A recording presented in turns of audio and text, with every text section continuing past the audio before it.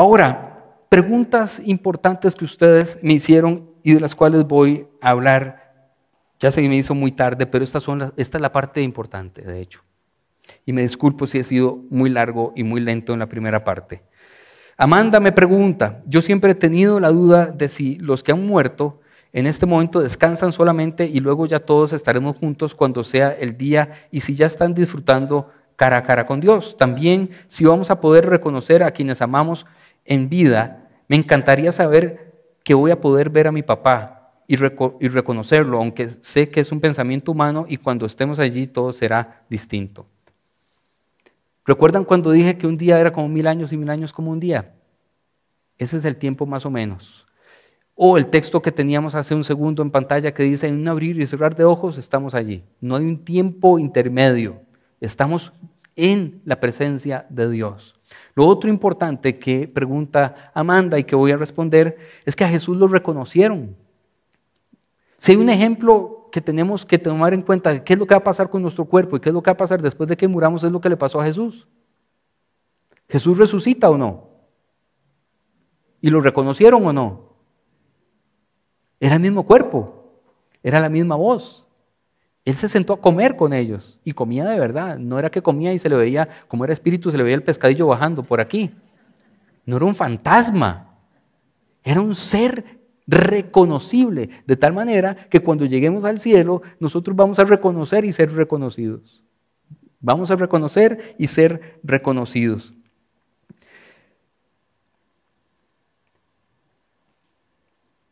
¿Qué más? A ver, que tenía aquí para responderle a Amanda. ¿Cómo será ese cuerpo? ¿Cómo será ese cuerpo? Y hay algo que voy rápido en esto, pero ese cuerpo, dice el texto bíblico, que va a ser glorificado. Ahora, mucha gente piensa en un cuerpo glorificado y se imagina un fantasma con una bata blanca. ¿Cierto o no? Y ya les voy a decir de dónde viene eso. Un fantasma con una bata blanca. Filipenses 3, al 21 mas nuestra ciudadanía está en los cielos, de donde también esperamos al Salvador Señor Jesucristo, el cual transformará el cuerpo de la humillación nuestra para que sea semejante al cuerpo de la gloria suya. ¿Semejante a qué? A un fantasma. Semejante a la gloria de Jesús. ¿Y cómo se ve la gloria de Jesús? Y aquí lo tengo en griego para que no nos perdamos. Voy a borrar eso que hace rato lo tengo aquí. La palabra importante aquí es doxa, doxa, ¿verdad? No sé si ustedes la ven aquí, o doxes doxa, y la tengo aquí para que ustedes la vean. ¿Qué significa doxa? Significa algo lleno de gloria, algo divino o algo indescriptible o este, una, eh, algo esplendoroso o eh, algo lleno de gloria o algo, este, algo que se respeta mucho o en términos eh, hebreos algo que pesa, algo que es glorioso. No que sea diferente a como nos vemos, sino que ahora ya no tenemos vergüenza. Todo lo que nos daba vergüenza, todo lo que nos avergonzaba de nuestra vida, ya no lo vamos a tener. Eso es lo que está diciendo el texto. Cuando nos glorifica el cuerpo, no es que nos da un cuerpo completamente distinto al nuestro, sino que ya no hay vergüenza.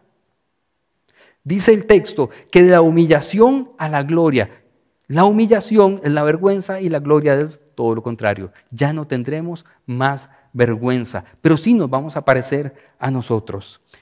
Sí nos vamos a parecer. ¿A Jesús le tocaron las heridas o no? Así que tampoco se haga ilusiones de que si usted es medio bajito aquí va a ser un poco más alto o de que si usted tiene una cicatriz se le va a quitar la cicatriz. Normalmente vamos a hacer exactamente lo que nosotros somos, pero sin vergüenza. Vamos a ser unos sinvergüenzas en el cielo unos verdaderos sinvergüenzas. Ah, Jania pregunta, vamos a ver. Ah, bueno, interesante. Apocalipsis 3, 4 5 es donde aparece la idea de que vamos a llevar ropas blancas. Pero ropas blancas simboliza que somos puros, nada más. Que somos puros. Acuérdese el, contexto, estamos hablando del primer siglo, que se ponían para ir a la pileta. No se ponían un traje de baño, como usted y yo lo usamos, de colores se ponían una bata blanca, porque simboliza que están puros, purificados, pero no es que nos van a entregar cuando llegamos al cielo, eh, van a ir, ¿qué talla es usted? Así ah, ya, aquí eh, una bata blanca para usted. No, probablemente no vamos a llevar ropas. Probablemente, no sé, eso no se dice. Lucas 29 al 39 al 40 dice, se puede ver, reconocer y tocar. Lucas 24, 41 al 43, se puede comer y se puede disfrutar de la comida. Cuando usted y yo muramos, vamos a comer sin remordimiento sin remordimiento. ¿Por qué? Porque ustedes ya no van a sufrir de gordura, de que le va a dar un paro cardíaco, de que se le subió la presión, de que eh, el diabetes, que el colesterol, no se puede volver a morir, ya se murió. Disfrute. Chicharrones, porque yo siempre he pensado en que estos carajos, compañeros de Jesús, solo pescado comían y a mí eso me tiene muy preocupado. Menos mal Judas, si llegó al cielo, se va a poner la chicharronera allá arriba. ¿ah? Porque era un rebelde y como ellos no comían chancho, yo, Judas sí. Judas es de los míos. Jania me pregunta, ¿qué es del, del, purgatorio? Ya hablamos de eso. ¿Cómo va a ser el día del juicio final? El día del juicio final ya sucedió y esto es una de las cosas más importantes que usted tiene que entender. El juicio final no es futuro. Fue en la cruz del Calvario. Dice, todo está consumado. ¿Qué dice? Todas las culpas fueron expuestas aquí todas. Y salimos victoriosos. Fuimos perdonados. Somos liberados de toda culpa. ¿Dónde nos liberan de la culpa? ¿A dónde? En la cruz del Calvario. Usted va a llegar, si es que hay un juicio específico, va a llegar diciendo, de todas formas, yo ya sé, el final de la historia me la sé, tengo spoiler. Ya me contaron que ganamos el juicio. Así que llegue tranquilo lleguen tranquilos. ¿Qué más? Pau me pregunta, siempre me ha costado el tema del purgatorio, ya hablamos del purgatorio, ¿de verdad existe? ¿Sirve para algo orar por los muertos? Yo creo que sí sirve de algo orar por los muertos, sirve para que usted y yo nos sintamos mejor. Sirve para que usted y yo sintamos alivio. Y no está mal. Dios no va a decir, ¡ay! Está volando por alguien que se murió, ya no entra al cielo, pecadores. No, oren por la gente que se fue. Pero oren, oren, oren para eso y para muchas otras cosas, pero oren. Mi mamá decía, dice Pau, que en la Biblia se dice que los muertos no tienen memoria. ¿Es eso cierto? No es tan cierto. Lo que dice la Biblia es que, y tiene que ver con eh, las deudas, más bien, el texto bíblico, eh, el texto bíblico está aquí, Está en Eclesiastés capítulo 9 y habla de que, acuérdense que ahora leemos de aquí para allá, los que están vivos, ¿verdad? E, ellos, ¿qué dice? ¿Alguien sabe? Aquí, bueno, está en inglés, ¿verdad? Ellos saben que van a morir, pero los que ya murieron, ya ellos se les olvidan sus deudas de el trabajo o los salarios que les deben también.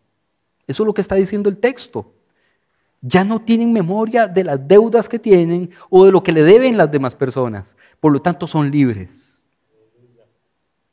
Usted no, digamos, no es que usted ya no se acuerda de nada cuando se muere. Es que ya a usted no le interesa si le debían mil pesos. No está diciendo, puña, me morí, no, le cobré aquel carajo. Y empieza a jalarle las patas en, en las madrugadas. ¿Para que le pague? ¿A dónde le va a pagar? que le haga una transferencia. ¿A dónde? Simpe, Simpe celestial. ¿Verdad? ¿Cuál sería el código 506? Es aquí. ¿El del cielo cuál sería? El del infierno 666. Eso sí estamos seguros, ¿verdad? 777 sería, yo creo. No. Sacar es la, la palabra. Tiene que ver con las deudas, los contratos que usted tenía antes. Ya no se va a acordar de si tenía un contrato pendiente de cumplir. Usted ya es libre de todo eso. Selenia me pregunta, ¿qué tengo ahí? Ah, sí, la palabra. Sobre el tema de muerte y vida, sobre el tema de muerte y vida eterna. Siempre me ha interesado lo de la reencarnación. ¿Vos podrías hablar sobre ese tema, por favor? ¿Qué hay en la Biblia sobre eso? ¿Creer en la reencarnación contradice la salvación en Jesús? Y yo lo que digo es esto, si por reencarnación entendemos que usted y yo vamos a resucitar en un cuerpo mejor que este, ¿Eso es una reencarnación o no? ¿Y qué es lo que dice la Biblia? Que nos van a mejorar este cuerpo porque va a ser glorificado. ¿Cierto o no? En ese sentido es una reencarnación, porque nos van a tocar o no, a Jesús lo tocaron, le tocaron hasta las heridas, pero ni le dolía. Vamos a mejorar, sí, Jesús podía atravesar paredes, comer sin dolor de panza. Eso es una reencarnación. Vamos a reencarnar en nosotros mismos, eso sí. Si en ese sentido ustedes me permiten la aseveración, ese cuerpo glorificado y sin vergüenza, esos sinvergüenzas vamos a estar reencarnados. Margarita me pregunta, hola José, pura vida, siempre me he preguntado cuando morimos si de forma inmediata gozamos de la presencia de Dios o quedamos muertos y ese gozo eterno inicia cuando Cristo vuelva a la tierra por nosotros. Eh, lo dijimos hace un rato, en un abrir y cerrar de ojos, ¿por qué? Y lo respondo así. Y ahorita vuelvo a, a tu pregunta. Si de forma inmediata, porque no hay tiempo en el cielo, y sin tiempo no hay espera. Como no hay tiempo, no hay un tiempo de espera, es ya, inmediatamente. Hay más preguntas de Margarita. Otra duda es que si una vez que morimos como seres espirituales podemos acompañar o visitar a nuestra familia. La respuesta es una, sería una contradicción en sí misma, porque solo Dios es omnipresente. Usted y yo no vamos a tener la capacidad de la omnipresencia. Podemos pasar de un lado al otro, pero no podemos estar en el cielo y en la tierra al mismo tiempo. Eso sería imposible, para, no es la facultad que nos han dado, ni a los ángeles tampoco, ni, ni siquiera Jesús es omnipresente. Para que Jesús sea omnipresente necesita del Espíritu Santo para estar en todas partes, porque es la parte de Dios que hace eso. Dice, y otra trivial pero importante, para los que hemos hecho de nuestras mascotas parte de la familia, veremos a nuestras mascotas en el cielo. La respuesta es que, es muy interesante. Cuando uno lee Apocalipsis, uno ve que hay un montón de bichos ahí. Hay árboles, ¿cierto o no? Si hay árboles, hay otros seres vivos que no somos nosotros. Hay un montón de seres con formas de cosas que conocemos, que son como bueyes, como águilas, como, ¿verdad? Hay de todo tipo de seres. ¿Por qué Dios no redimiría a toda su creación. De hecho, Apocalipsis dice que Dios va a salvar toda tierra, toda su creación, y va a crear una tierra nueva y un cielo nuevo, a todos. Todo va a caber ahí. Y de hecho esto es muy importante y con esto ya casi terminamos. Y es que nos han vendido la idea de que la vida después de la muerte es estar totalmente, eternamente en el cielo. Eso no es cierto. A nosotros nos van a dar un, no es un one-way ticket, es un round trip. Nosotros volvemos a la tierra. Nosotros vamos a volver a esta tierra. Dice que va a crear una tierra nueva y para qué va a crear otra tierra. Y vamos a venir a habitar en esta tierra que va a ser perfecta otra vez.